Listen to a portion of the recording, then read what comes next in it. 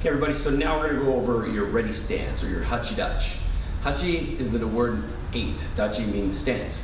So we use it for our ready position in every direction. Okay, front of us, behind us, left, right, and all the angles.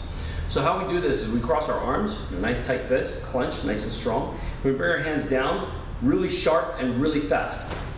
Making sure that our arms snap down into position, okay? We always do it with a big kiai because that lets our instructor know that we're ready for action. So again, you're crossing your arms, bring your hands down really fast with a big strong kiai. Next, we're gonna do our Kiotsuke. Kiotsuke position means attention. So we're gonna bring our hands and feet together from our hachidachi. We're gonna bring our hands and feet together. The left leg always steps in, okay? Never step in with the right leg, we wanna step in with the left leg. The reason why is because martial arts is just like, the, the word martial means military, so we wanna make sure that everybody's moving the same direction. So, when you're in your hachidachi, your left leg moves together.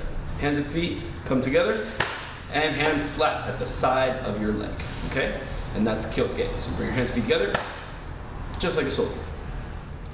In the martial arts tradition, it is a good sign of respect to bow. And we bow a lot in the karate school. We bow when you first walk into the dojo, we bow when you uh, bow to other black belts or higher ranks. We bow to, uh, to get onto the mat. We bow to say please and thank you. Uh, we bow to get off of the mat too. So we want to make sure that we're, we're doing the bow correctly. A lot of times we see beginner students and they're not really learning the concept of the bow and bowing with their head like this, okay? This bow is not very respectful bow and, um, and it's mostly reserved for the upper ranks. We're talking like fourth degree level and higher. So when a lower rank bows deeply to the upper ranks, the upper ranks reply with a nod. But that's because they've been doing it for so long and they've earned the right and the privilege to be able to do that. However, when the upper ranks bow to higher ranks above them, they give them a nice deep courtesy bow. So now we're gonna go over the courtesy bow.